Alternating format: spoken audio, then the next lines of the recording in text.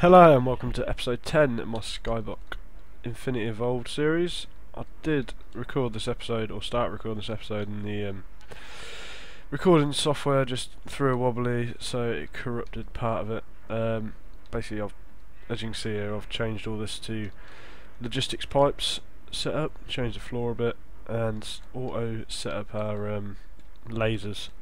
So I've got two uh, crafting bits down here. This one here, crafting pipe. If I show you, this is a logistics pipe controller, which I've made.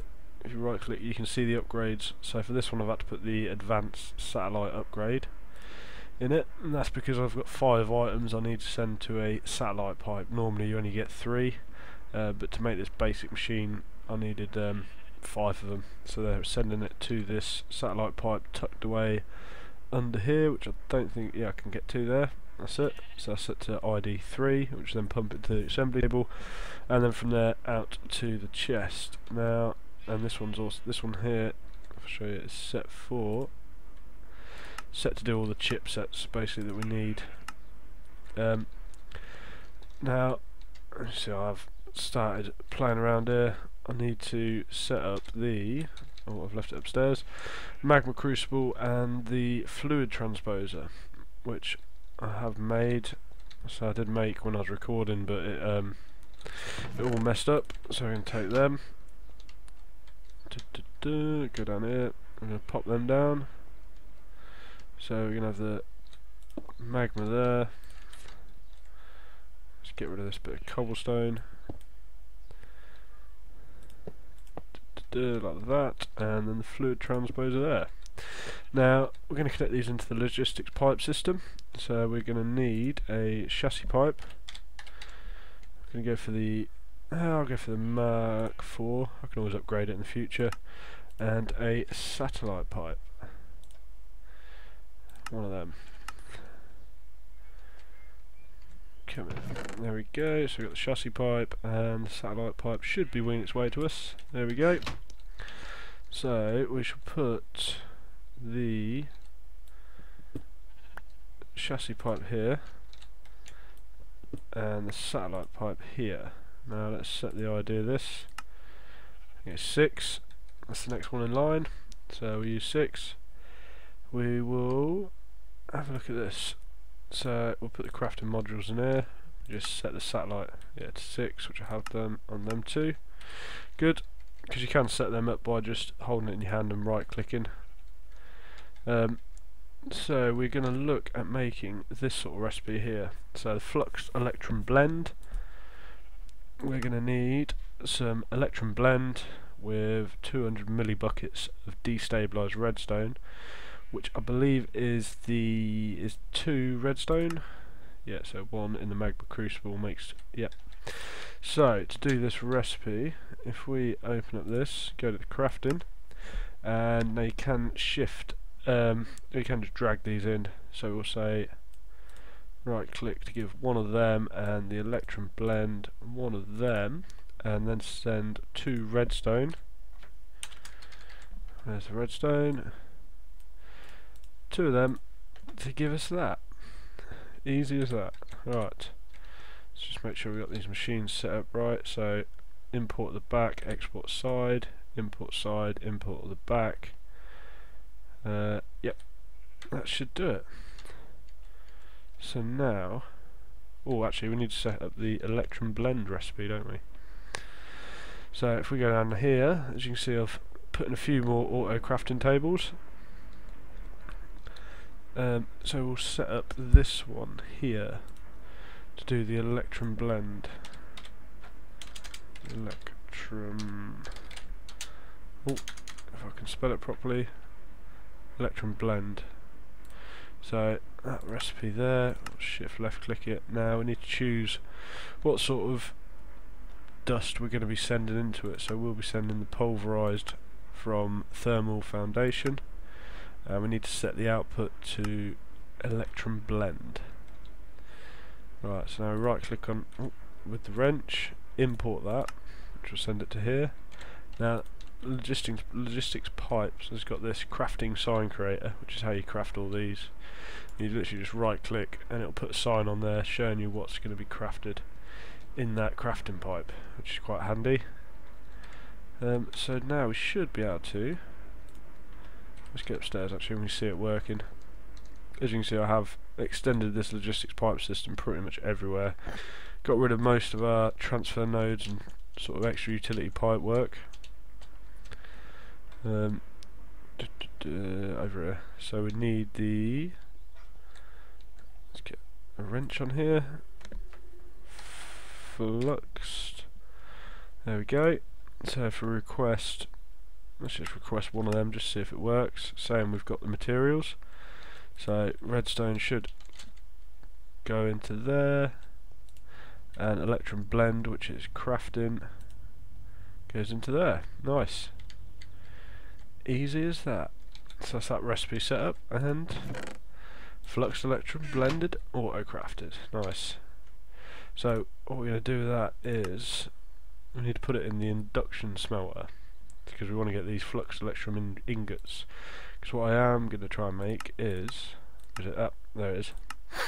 The flux infused omni wrench which will basically get rid of our crescent hammer and we can use it for picking up all our machines and pipe work and setting everything but it's also good for the I've got a couple of industrial craft uh, machines here so it'd be good to pick them up with because then they definitely won't break it's not too bad at the moment because they're only a compressor and a metal former fairly simple to make but if I can get away with it I will do so we need to do induction smelter recipe. So have I got any spare? So look if I've got any spare crafting modules in here. No. No, so we need a crafting module. Let's request one of them. I've got these set to auto craft because I've been using a fair amount of them, sort of setting up all this sort of system. So while waiting for that, come on, come on. Where is it? Let's just quickly look at what we're going to need. We need the pyrotheum dust, so I need to set that recipe up as well. There it is. Right. Just go set up that recipe. pyrotheum dust. I have made a load of this before though. I used it for something else. But we shall set it to autocraft in case we want it in the future. So, where is it? pyrotheum dust. You can just shift left click and it'll put it in. Again we need to set what we're going to be using so we're going to be using the thermal foundation and I believe it's the IC2 sulfur dust to give us that. Now you can use fuzzy crafting tables to do this so you, it doesn't necessarily matter what coal you go in there whether you use the um, thermal expansion one or the IC2 one the IC2 yeah or Ender IO for that matter and it'll just look at it uses the Ore Dictionary to find which one, which I have done down here, this one here. So the basic machine crafting. So I've I was playing around with it to try and get it to do it. So it doesn't matter what iron plates we send it, it will just choose whatever using the Ore Dictionary. As you can see set there, but you also need to, which is what I bought, made this uh, machine, this whatever it's called, logistics pipe controller you need to put in a fuzzy upgrade into the crafting pipe. So, so if we have a look here, see again this is Ore Dictionary because that's the thing that I wasn't doing. So I was using a logistics crafting table without the fuzzy upgrade in the crafting thing. So that's just a little tip for you if you want to use it. Now this thing here, crafting sign creator, do that, which means we haven't imported it. There we go. Nice, so that's the dust made. So, let's go upstairs and set up the induction smelter. Yeah, there you are. So let's just check satellite ID 1. So we'll stick that in there, set the satellite to 1. So we're going to need two blend and one dust. So two of you and so it's pyrotheum pyrotheum dust yep and one of you. Create fluxed. Makes two of them, doesn't it? Yep, two. Cool, so now we should be able to request the fluxed um, ingots. Let's craft one of them. That, that's messed up.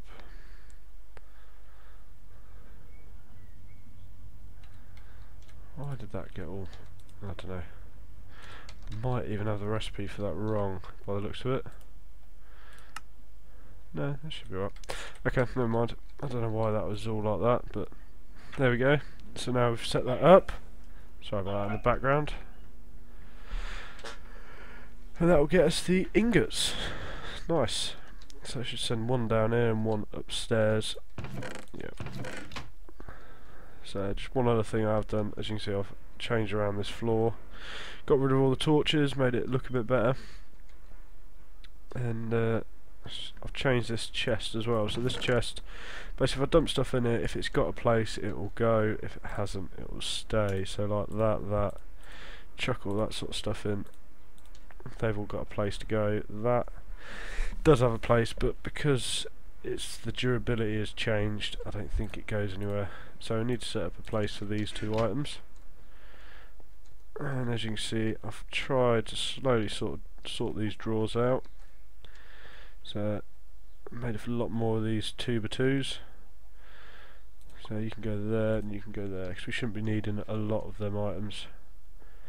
If we are, we'll probably be using them straight away. We won't be storing them up. Um, one other thing I have done is if I can get down there to show you. Is it there? No, it's back a bit more. Where is it? believe it's around here somewhere. That's over here. There. So this pipe here, if we right click on that, you can see we've got the polymorphic item sync, which will basically put items into this system if they're there. The provider module, which allows this stuff to be taken out, and active supply module. So this one here will basically try and keep this uh, drawer system stocked with the following items. So that should help me out in the future when I need the stuff. I ain't got to sit there waiting for it to be crafted if I need a stack of iron refined iron it'll be there ready for me. And then this will automatically um, I'll fill that hole in later will automatically fill the system up for us. So the reason I was doing all that was because I want to make the wrench. So we've got the flux electrum ingot sorted. We're now going to need to make the flux crystals which is diamond and redstone. So again, another recipe down in the induction smelter. Sorry, fluid transposer. So let's open up this, which is why I had two crafting modules. So we need one of them is made by diamond and two redstone. So diamond one of them and redstone. One, two, easy as that. So, now we should be able to get the flux, there we go, flux crystals. So we want two of them. We're also going to need another one of them, so I may as well request them while we're down it and look at the other thing to make for the wrench, which is the obsidian rod. So the obsidian rod's just pulverised and blaze powder. Simple enough to make. So we need two of them and blaze. One of them. So I should send it all down here. So just waiting on one more of the ingots which is somewhere What's going on with that? What's going on? Is that crafting? There we go. There it is. Nice. Cool. So we can now craft up this fused wrench. Wherever my crafting table is. Oh, I got rid of it, didn't I? Let's just find a crafting table somewhere. There we go. I need to sort my food this sort of situation out. Right. So let's make the obsidian rod. No, you're not going to stack. Oh, I haven't even made the... Come on. There we go, obsidian rod. Fluxed infused obsidian rod and then the wrench. Right, so now we need to look at power in this thing. So the way I'm going to do it is just use a Ender IO capacitor, I think. No, I'm not. So I need signalum. How do we do that? Signalum. We need blend or an alloy smelter. So we'll go for we'll go for this way. So we need to set up this recipe. Hmm. Right. Silver, copper. So should be able to use the thermal foundation one. Yep. And then we need a bucket of redstone. So let's go tell this system how to do a bucket of redstone. Is that going to work? Yeah. So redstone in there. So we're going to need another... Can I actually use this without it being powered? No. We need a bucket. And we need redstone. So one bucket of that and redstone. Ten of them. And a crafting. Mm. Another crafting module. Let's just request a couple of them, just in case I need them in the future. Because now I've got to wait for it to be crafted. So what else are we going to have to set up? So we're sorting out these basic capacitors, because all the other stuff, that's easy enough to do. Red chipsets, yeah, I can do that. What's the table making up at the moment? Shouldn't be going. Ah, no why, because I've used some iron chipsets for the um, crafting modules. That's alright. That's just auto filling for us. So it's just these nuggets we need to make. So we need to blend. Yep. Right. So we need silver dust. Have we got them yet? Yep. Nice. Right. So we need to put that in there. And what was the satellite? Six.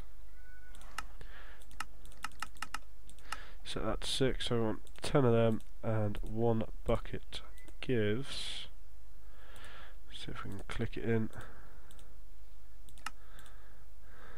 Destabilized.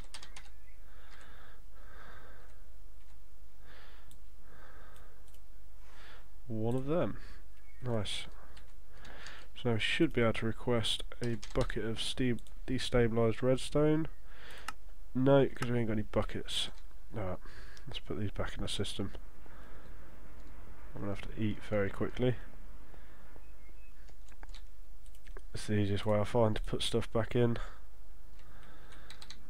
Just chuck it in that hopper and extract out into the system. Uh, it's not going to have some places to go, I believe, some of the things, or will it? So a quick look. Yeah, everything's gone into the system alright.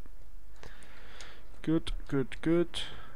So we need to set up some auto crafting. Right.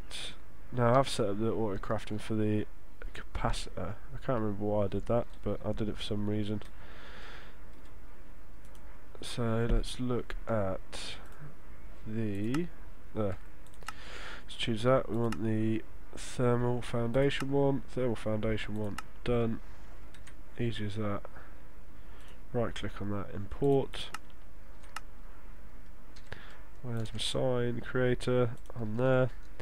Now I'm also going to tell this how to make buckets in case we want multiples.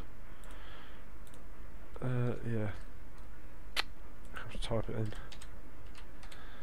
Bucket. Now we're to use the IC2 plates. Yep. Import and that. So now we're to need the crafting module again to make the blend into um, an ingot. And then we're going to need another auto crafting thing for the ingot into nuggets. So I don't actually think I've got a no I haven't got a redstone furnace set up. Can you do it in the induction smelter? Yeah. We'll do that. I think I haven't got a redstone furnace. No. No, I haven't. Well, I might just do it manually for the moment then. Set up a redstone furnace uh, off camera. Right, so we should be able to request the blend. Let's request four of them. So it should make some buckets. Yep, send a bucket there, send the redstone.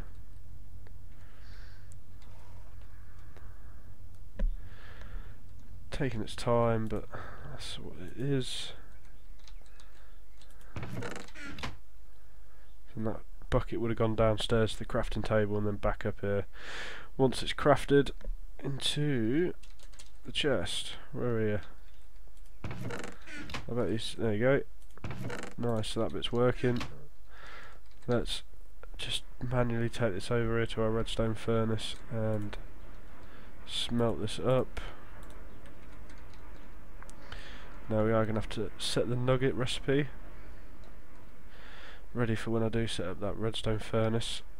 So I could just take it out, or actually no, no I won't. I can put it in a compacting drawer if I've got one free. If not, I should just make one. Let's have a look. If I've got any compacting drawers free, no, no, that's not a problem. I will just make one then. Transfer that uranium over there and put one in there, but I should do that off camera.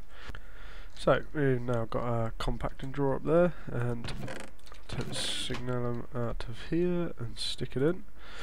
There we go. So now we've automatically got ingots and nuggets and blocks if we so call require. Um, Alright, so the next thing we're going to do is set up the capacitor. I'm going to do an auto um, crafting recipe for the capacitor because uh, oh, I don't need that anymore. Um, because I'm thinking I'm going to be using it quite a lot. So we'll just do that. We'll choose the normal block of redstone. Let's get that imported in and put a little sign on it and there we go. So now it should be able to request the capacitor. Oh no, we are missing the lap lapis electrons. Right, so let's get some lapis. We're going to need five of them and some redstone. Not three, two, but oh well. So we're going to just put this in the thermionic fabricator.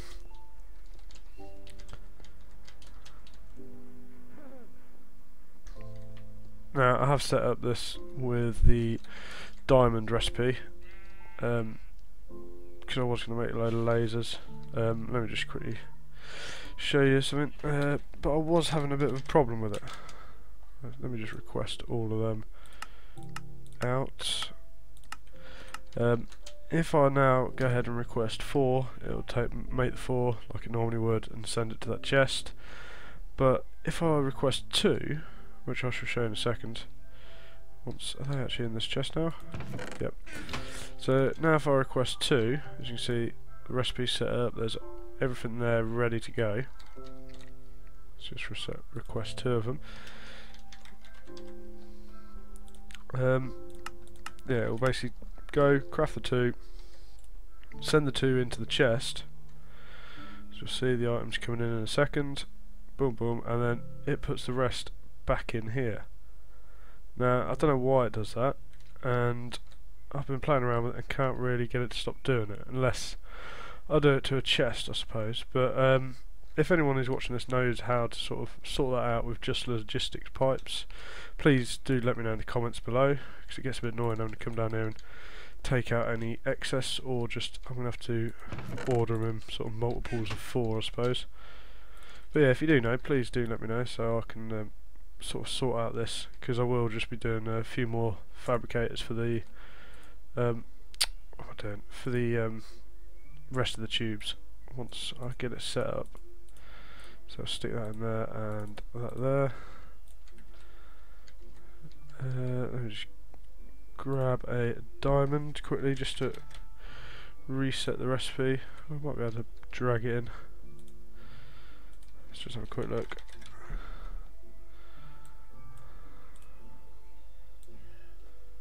No, okay.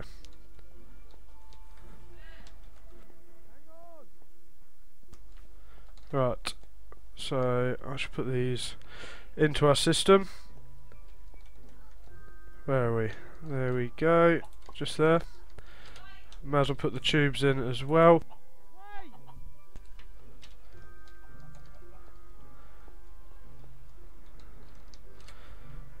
Right, so now we should be able to request the capacitor. Nice, repressed complete, and it should be on its way to us. So now once I get this, I should be able to upgrade, well, charge up the um, the wrench. Nice. Just go dump it down somewhere for the moment. Let's just stick it on the end there. Uh, I'll have to put the just input and put the wrench in. Nice, there we go.